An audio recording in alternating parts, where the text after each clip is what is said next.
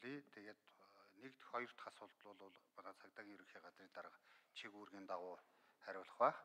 За сонгуулийн тухай хуулиар зааж өгсөн одоо ингээд сонгуулийн жил эхэлсэн ч байгаатай холбогдуулаад 24 оны 1-р сарын 1-ээс хойш за хэвлэл мэдээллийн байгууллагууд юу хийж болох вэ? Юу хийж болохгүй? За улсын их хурлын гишүүд одоо бүрэн эрен эрх нь хэрэгжиж байгаа гишүүд юу хийж болох вэ? Бас юу хийж болохгүй гэдэг талаар одоо бид нар зөвлөмж арга зүйн зөвлөмж өгч ажиллаж байна.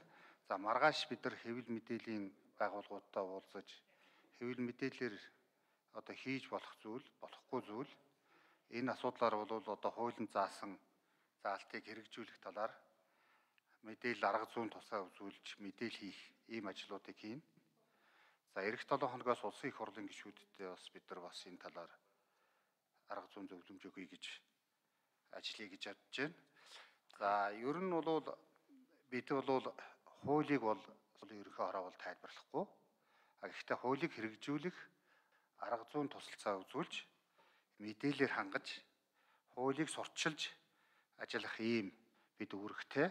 За энэ үүргийнхаа дагуу одоо бид нар ингээд салбар чиглэлүүдээр ялангуяа хэвлэл мэдээллийн байгууллагууд одоо ингээд нэр дэвтэгчд гэдэг горилагчд гэдэг одоо 12 дугаар сарын 31-нээр ажиллаа өгсөн нэлээд олон тооны хүмүүсүүд байна. Энэ хүмүүсүүд юу хийж болох вэ? Юу хийж болохгүй гэд ингээд энэ талаар одоо бид нар арга зүйн зөвлөмжүүдийг боловсруулалт хийж байна.